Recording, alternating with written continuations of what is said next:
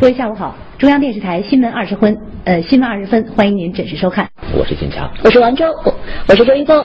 今天是二零一一年十一月啊一月二二零一一年的三月三号星期四，现在是北京时间早上的六点零一分。受风雪天气影响，全国六十二条高速公路局部路段封闭，多条高速铁路呢降温呃那个持续呢降速运行，近百。日前，一段央视主播直播口误的集锦在网络热传，也逗乐了不少观众。今日上午，在出席郎永淳与其妻子吴萍新书《爱永淳》发布会的时候，央视新闻中心播音部主任、新闻联播主持人李瑞英也回应了这一话题。他表示，新闻主播也是普通人，也吃五谷杂粮，生了病也会去医院排队看医生，同样也会遇到很多困难。希望观众朋友们多多包涵，日后一定会对自身严格要求，提高业务水平。呃，其实这个问题吧，回答起来比较敏感哈，但是我觉得我们也是在不断的去调整自己。作为一个主播，确实应该永远不打磕本，不说错话。但是呢，就是工作三十年，就是有那么几次确实表现有点欠佳的时候，我们也不想找什么借口，就是稿子哪怕提前一秒钟给我了，我就应该非常完美的去把它表现出来。这是我们团队的最高理想和追求。其实看到那些吧，我觉得大家也挺快乐的哈。说哎呦，他们终于打磕巴了。然后我觉得能给大家带来点快乐，其实我们也觉得好像我们也没有那么烦恼了哈。再有一个呢，就是通过今天的事儿呢，你们也可以知道，其实主播们也都吃五谷杂粮，生活中也会遇到很多很多的困难。在我们这个年龄呢，都是上有老下有小。父母身体也不好了，也要去医院排队去做哈检查。孩子上学的时候，一样遇到很多很多的困难。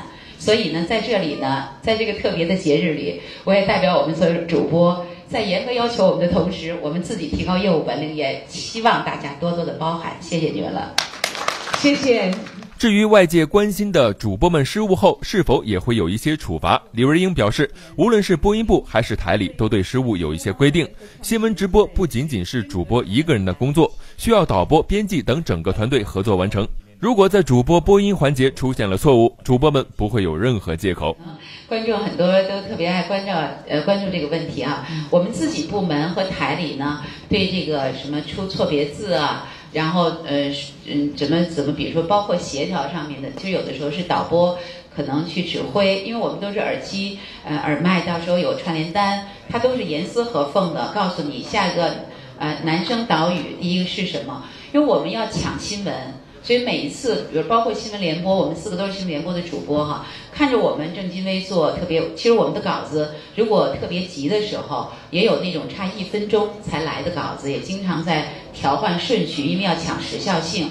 呃，这样的时候呢，呃，如果我们错了，都没有什么借口，只要是主播，我们有责任。分清的责任啊，是稿子的问题，是导播的问题，还是主播的问题？但其实呈现在观众面前的都是主播的问题，所以呢，我们也有一些惩罚的措施。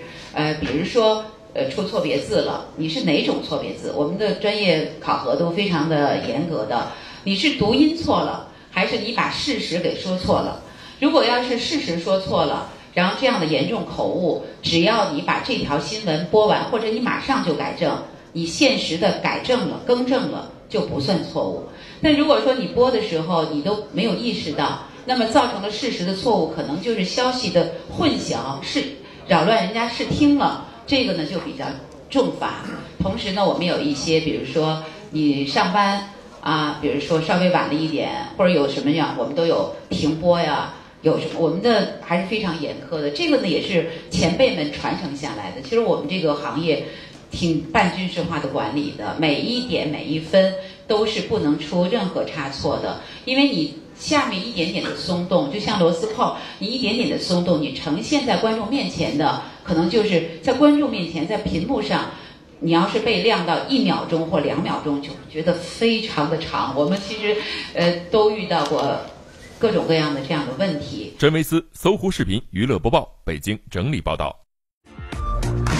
搜狐视频那是极好的，我是孙俪。